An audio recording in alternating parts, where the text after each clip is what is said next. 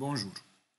Dans cette vidéo, je vais vous montrer comment vous pouvez euh, créer des questions et les générer euh, à partir de chat euh, GPT, puis en les intégrant au niveau de la plateforme Moodle.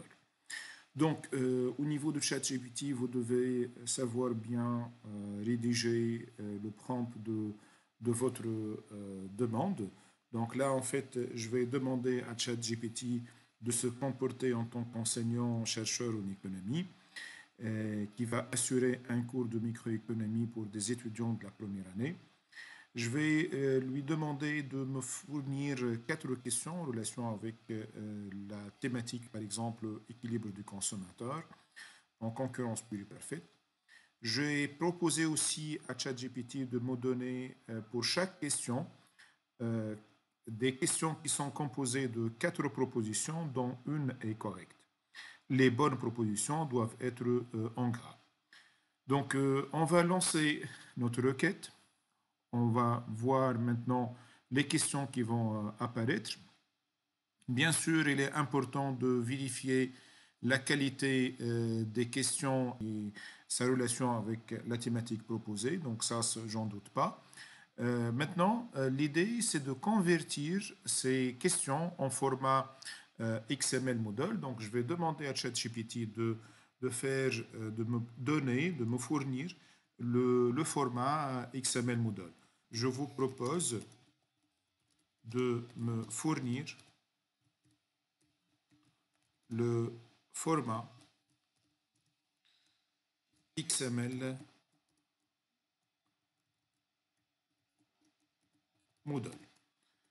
Donc, ChatGPT va me donner un code euh, XML que je vais l'utiliser bien sûr pour par la suite pour l'intégrer au niveau de la plateforme euh, Moodle. Donc, il est en train de générer euh, le code. Une fois le code est généré, on va copier le code et puis je vais le mettre dans un bloc note sur un bloc-notes vide, nous allons mettre euh, le code souhaité. Et là, euh, je vais euh, enregistrer le, bloc-notes sous une appellation. Par exemple, je vais appeler le, le, le, fichier comme étant exercice, mais je vais mettre exercice.xml. Et je vais vérifier qu'il s'agit d'un encodage ETF8. Je vais enregistrer Maintenant, je vais passer à la plateforme. Au niveau de la banque de questions, je vais chercher euh, à importer les, questions. Donc, je vais aller vers Importer. Puis, je vais sélectionner le format XML. Au niveau du format XML, je vais choisir l'emplacement de la catégorie où je vais classer les, euh, les questions.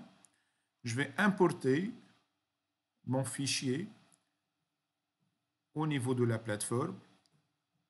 Puis je vais procéder à l'importation. Voilà, donc on vérifie que j'ai mes questions, mes quatre questions qui ont été importées. Je vais maintenant vérifier euh, si c'est bien fait ou pas. Donc je vais aller vers la modification pour vérifier euh, le paramétrage. Donc on vérifie bien sûr que la question est bel et bien présente avec les euh, bonnes et les mauvaises euh, propositions. Donc là, vous avez euh, la bonne proposition avec 100% et les autres propositions avec aucune note.